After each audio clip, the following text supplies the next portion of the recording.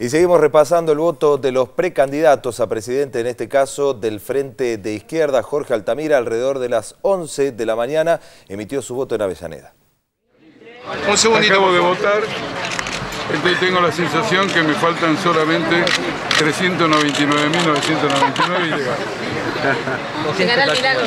¿Cómo? Sí. Muy, muy grande, Hacia muy adelante, grande por favor. Realmente este, hay un entusiasmo. La cámara. La cámara. Hay un entusiasmo para que el Frente de Izquierda llegue a las elecciones de octubre.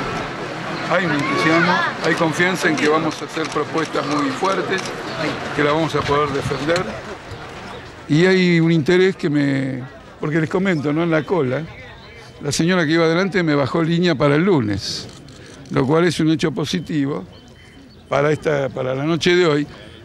Pero lo que ella me dijo fue lo siguiente, este, estuvieron muy bien en ser concretos, simples y directos, y a partir del lunes vuelvan a hacer eso pidiendo que voten al Frente de Izquierda para estar presentes en el Congreso Nacional y en todas las legislaturas. ¿También piensan que va a ser difícil hoy llegar al objetivo, a los 400.000 votos? Cuando largamos la campaña era difícil, por eso fuimos tan intensos. Hoy no estoy seguro de que sea difícil.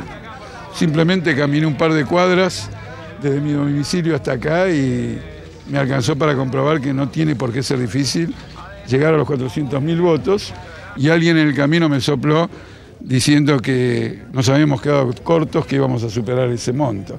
Bueno, o ese nivel o ese número. Espero que así sea, naturalmente, espero que así sea.